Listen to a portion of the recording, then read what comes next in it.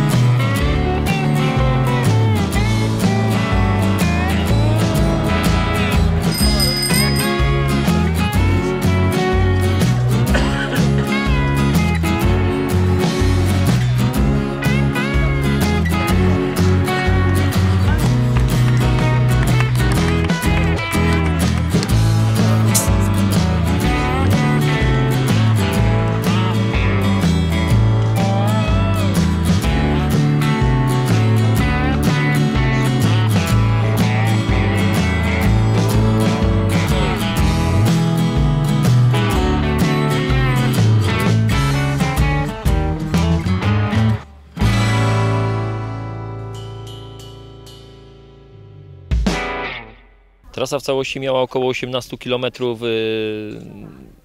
od startu do mety z dwoma odpoczynkami po drodze. Pierwszy był to odpoczynek y, nad autostradą w Żarach. Było to przejście dla zwierząt, czyli górą. Powrót tam było około 15 minut przerwy. Powrót odbywał się tunelem pod autostradą i kolejny postój był na Złotej Górze. Uczestnicy rajdu mogli skorzystać z atrakcji, jaką jest wieża widokowa postawiona właśnie na szczycie Złotej Góry najwyższy szczyt Wielkopolski Wschodniej, przypomnijmy. I tutaj uczestnicy widziałem, że licznie wchodzili, patrzyli na okolice właśnie z góry.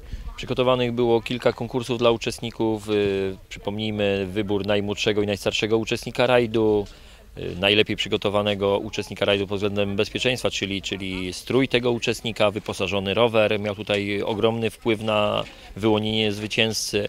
Również były występy dzieci i młodzieży z Gminnego Ośrodka Kultury, z zajęć działających właśnie przy Gminnym Ośrodku Kultury w Brzeźnie, jak również słodka niespodzianka dla wszystkich uczestników w postaci pączka, jak również pieczone ziemniaki i w popiele, czyli tradycyjnie jak to mm, żeśmy zawsze za dzieciaka sobie tam robili ogniska i piekli ziemniaki, jak również zawijane folią aluminiową pieczone na ruszcie. Mamy bardzo pięknie usytuowany teren, jeśli chodzi o, o gminę Krzymów i mam nadzieję, że tych uczestników będzie coraz więcej.